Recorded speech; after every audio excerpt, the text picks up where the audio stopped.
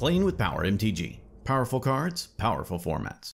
Before we get into today's video, I wanted to share a quick story that happened to me recently. I was recently the victim of credit card theft. I didn't actually discover that I was a victim until I received notifications that over $1,000 had been charged to my card and my card and account was frozen. Needless to say, it was a pretty big inconvenience to the fun weekend I had planned. If you think it won't happen to you, think again. Hackers love to target places like video game companies, streaming services, and other commonly used websites. These companies are prime targets because they have a ton of customer data. They don't, however, have to adhere to the same security requirements and regulatory demands as hospitals or banks. So that's why I'm excited to partner with today's sponsor, Aura. Aura is identity theft protection, fraud monitoring, a VPN, password management, and antivirus software all combined into one easy to use app.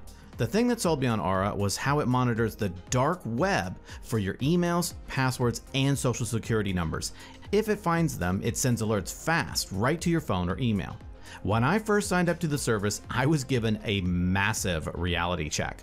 Aura found over a dozen instances of my personal information on the dark web. It found my username and password available for hackers to try and steal my info.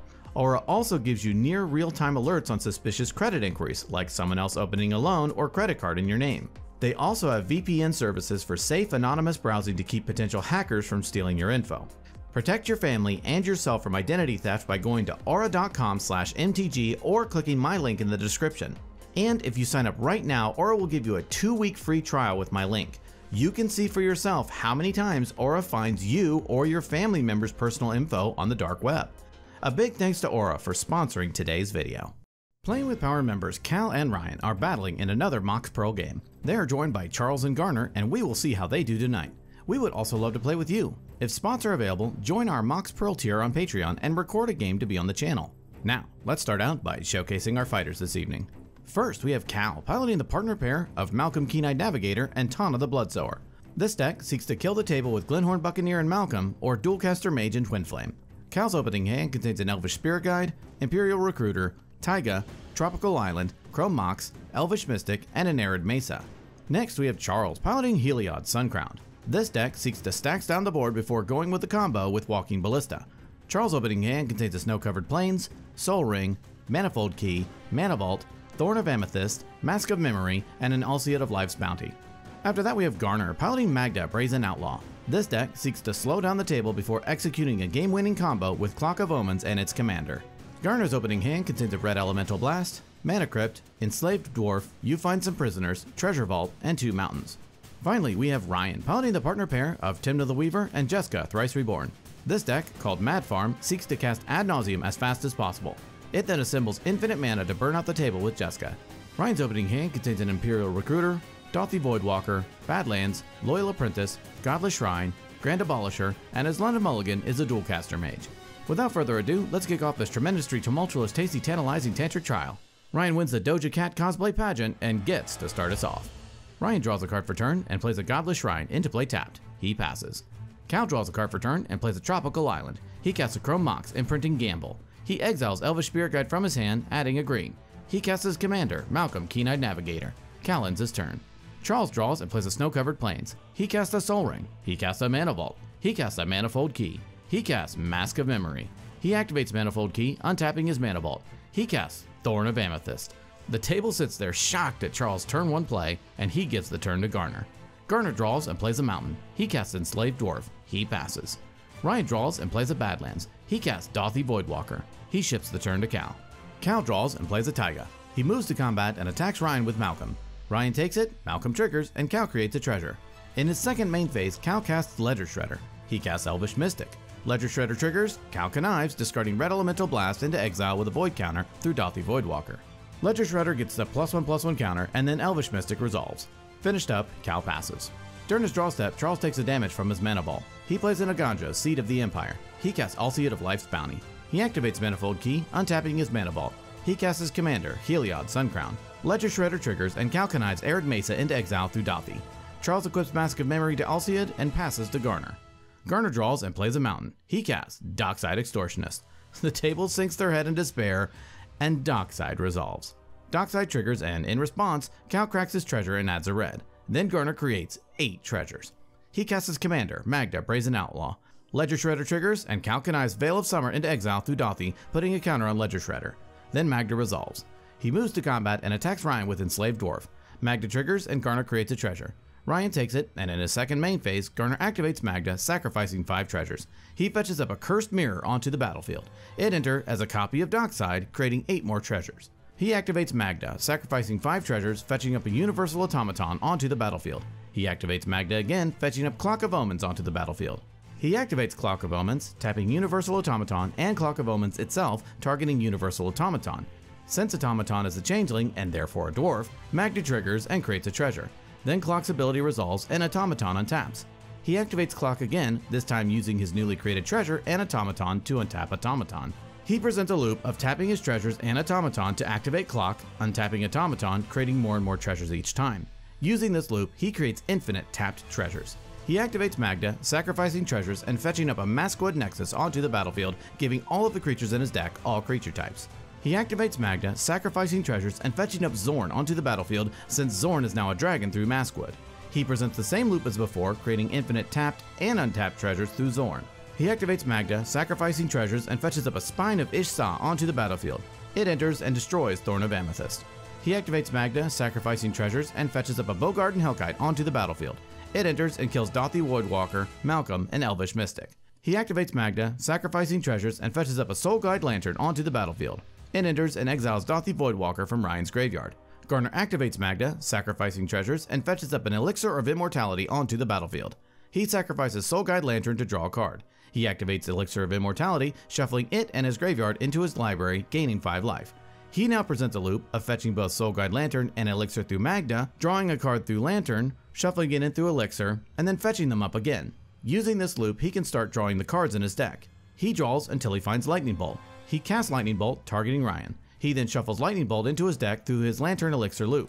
He uses this loop of drawing Lightning Bolt, casting it, and shuffling it over and over again. He does this repeatedly until the table is dead, and Garner wins the game. Okay, what an amazing display of Magda by Garner. So let's go again. In this game, Cal brings back Malcolm and Tana, and his opening hand contains an Elvish Spirit Guide, Chrome Mox, Simian Spirit Guide, Red Elemental Blast, Ancient Tomb, Neoform, and a Mystic Remora. Next, we have Charles piloting Ao, the Dawnsky. Ao? Ow? Owl? Ooh? Ow? I have no idea how to pronounce that. This is a mid-range deck seeking to disrupt the table with stax pieces and assemble a Nim Deathmantle combo with its commander. Charles' opening hand contains an Ashnod's Altar, Arcane Signet, Ancient Tomb, Three plains, and his London Mulligan is a Cavern of Souls. Garner brings back Magda, Brazen Outlaw, and his opening hand contains a Mountain, Mutavault, Dwarven Grunt, Bloodfire Dwarf, Jeweled Lotus, Memory Jar, and a Bogardan Hellkite. Ryan brings back Tymna and Jeska, and his opening hand contains a Sol Ring, Mox Opal, Dauthi Voidwalker, Badlands, Flooded Strand, Auriok Salvagers, and his London Mulligan is a Rain of Filth. And Cal gets to start us off. Cal draws and casts a Chrome Mox, imprinting Neoform. He plays an Ancient Tomb for turn. He casts a turn 1, Mystic Remora. He exiles Simian Spirit Guide from his hand, adding a red. He taps his Ancient Tomb to help cast Professional Facebreaker. The table sides at this amazing turn 1 play, and Cal passes the turn. Charles draws and plays an Ancient Tomb. He taps it to help cast Arcane Signet. Remora triggers and Cal draws. Charles ends his turn. Garner draws and plays a Mountain. He casts a Dwarven Grunt. He casts a Jeweled Lotus. Remora triggers and Cal draws. He cracks his Lotus to help cast his commander, Magda, Brazen Outlaw. Garner ships the turn to Ryan. Ryan draws and plays a Badlands. He casts a Sol Ring. Remora triggers and Cal draws. Ryan passes. During his upkeep, Cal lets his Remora die, seeing as it, you know, drew him three cards. He draws and moves to combat. He attacks Ryan with Professional Facebreaker. Ryan takes it, Facebreaker triggers, and Cal creates a treasure. In his second main phase, Cal taps his Ancient Tomb to help cast his commander, Malcolm, Keen-Eyed Navigator. He exiles Elvish Spirit Guide from his hand, adding a green. He casts Spellskite. Cal gives the turn to Charles. Charles draws and plays a Snow-Covered Plains. He taps his Ancient Tomb to help cast Karn, the Great Creator. The table size, and Karn resolves. Charles activates Karn's first ability, turning Cal's Chrome Mox into a creature, killing it. Charles ends his turn. Garner draws and plays a Mutavault. He moves to combat and attacks Ryan with Magda and Dwarven Grunt. Magda triggers twice and creates two treasures. Ryan takes it, and Garner passes the turn. Ryan draws and plays a Flooded Strand. He cracks it, pays a life, and fetches up a Scrubland onto the battlefield. He casts Dauthi Voidwalker. Ryan passes. Cal draws and moves to combat. He attacks Karn with Facebreaker and Ryan with Malcolm.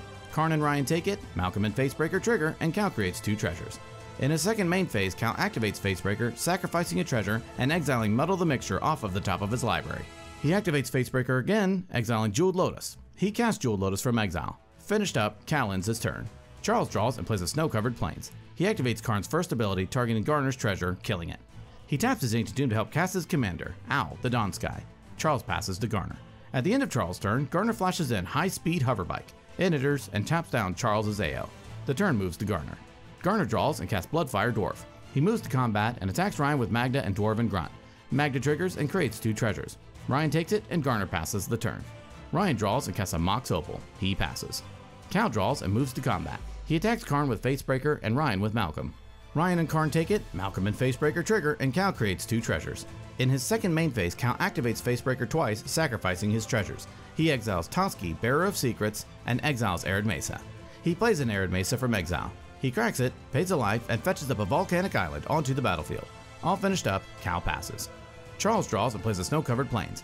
He activates Karn's first ability targeting Garner's treasure, killing it. He moves to combat and attacks Ryan with Uwu.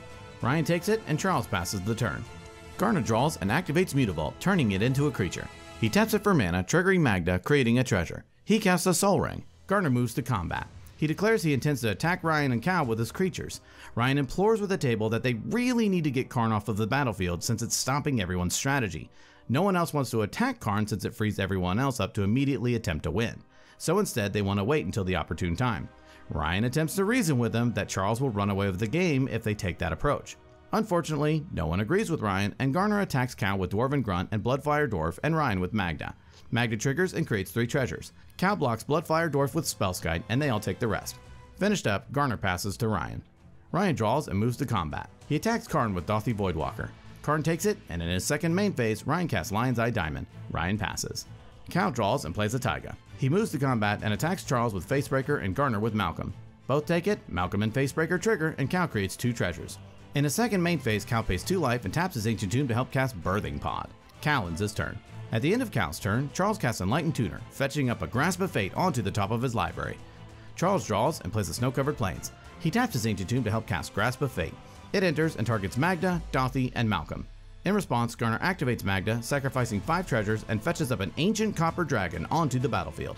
Then the three are exiled, with Malcolm and Magda moving to the command zone. Next, Charles casts Ashnod's Altar. Everyone suddenly realizes that they are in big trouble, and Altar resolves. Charles sacrifices Owl to Altar, moving it to the command zone, adding two colorless. AO triggers, Charles looks at the top 7 and puts Ranger Captain of Eos and Claws of Gix onto the battlefield. Ranger Captain triggers, and Charles fetches up Serra Ascendant into his hand. He casts Serra Ascendant. He activates Karn's first ability, targeting Cal's Jewel Lotus, killing it. Finished up, Charles passes. Garner draws and casts a Lotus Petal. He moves to combat, Ryan pleased with the table again about Karn, and Garner declares his attacks. He attacks Ryan with Dwarven Grunt and Cal with Ancient Copper Dragon. Ryan sighs, they both take it, and Copper Dragon triggers. Garner rolls a 13 and creates 13 treasures. All through, Garner gives a turn to Ryan. Ryan draws and casts an Arcane Signet. He passes. Cal draws and plays a Gemstone Caverns. He taps his Ancient Tomb to help recast his commander, Malcolm. Cal ends his turn. Charles draws and plays a Snow-Covered Plains. He activates Karn's first ability, targeting his own Arcane Signet. He taps it for white, then sacks it to Ashnod's, adding two colorless. He taps his Ancient Tomb to help recast his commander, Ao. He sacrifices it to Ashnod's, moving to the command zone. Owl triggers, Charles looks at the top 7, putting Stoneforge Mystic and Bounty Agent onto the battlefield. Stoneforge triggers, and Charles fetches up a Nim Death Mantle into his hand. Next, Charles sacrifices Stoneforge Mystic to Ashnod's and casts Nim Death Mantle. He sacrifices Serra Ascendant, Bounty Agent, and Ranger Captain to Ashnod's and recasts commander, Ao. He sacrifices Uwu to Ashnod's, Nim Death Mantle, and Owl Trigger. Charles looks at the top 7, putting Land Tax and Archon of Emeria onto the battlefield. He then sacrifices Archon to Ashnod's and uses it to pay for Death Mantle's trigger, returning Ao to the battlefield. He sacks Uwu to Ashnod's again, Death Mantle, and Owl Trigger. Charles looks at the top 7, putting Jeweled Lotus, Grand Abolisher, and Phyrexian Revoker onto the battlefield. When Revoker enters, Charles names Professional Facebreaker. He then sacrifices the Revoker to Ashnod's, pays for Death Mantle, returning Owl to the battlefield. He sacrifices Ao to Ashnod's, Death Mantle, and Owl Trigger. Charles looks at the top 7, putting Spirit of the Labyrinth, Leonin Relic Warder, and Lion's Eye Diamond onto the battlefield. Relic Warder triggers, targeting Cal's Birthing Pod. Charles holds priority and sacrifices Relic Warder to Ashnod's, adding two colorless. Relic triggers again, returns nothing, then its original ETB resolves and permanently exiles Cal's Birthing Pod. Then Charles pays for Death Mantle and returns Owl to the battlefield. He sacks out to Ashnod's yet again, Death Mantle and AO Trigger. Charles looks at the top 7, putting Mox Opal, Sol Ring, Portable Hole, and Weathered Wayfarer onto the battlefield, and then Mox Diamond into the graveyard since he didn't discard a land. Portable Hole enters and exiles Ryan's Lion's Eye Diamond. Charles then taps his Sol Ring to pay for Death Mantle, returning Uwu to the battlefield. He sacrifices Owl to Ashnod's, Death Mantle, and AO Trigger. Charles looks at the top 7, putting Ethersworn Canoness and Sanctifier en-Vec onto the battlefield. Sanctifier enters and exiles all black and red cards from graveyards. Charles then sacrifices Sanctifier to Ashnod's, paying for Death Mantle, returning out to the battlefield. He ends his turn. Just kidding, he sacrifices out to Ashnod's, Death Mantle, and AO Trigger. Charles looks at the top 7, putting Memnite, Cathar Commando, and Grim Monolith onto the battlefield. He taps his Monolith to help pay for Death Mantle, returning out to the battlefield. He sacrifices AO to Ashnod's, Death Mantle, and Uwu Trigger. Charles looks at the top 7, putting Enduring Renewal and Mana Crypt onto the battlefield. He taps his crypt to pay for Death Mantle, returning Ao to the battlefield.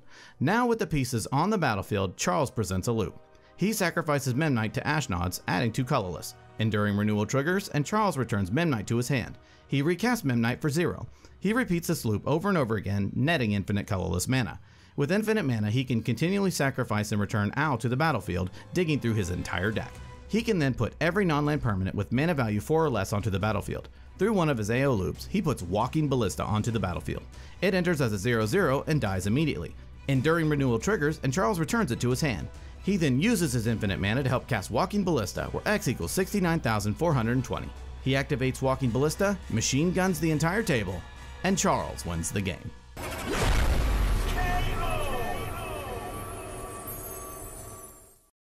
Ladies and gentlemen, what a fantastic set of games tonight.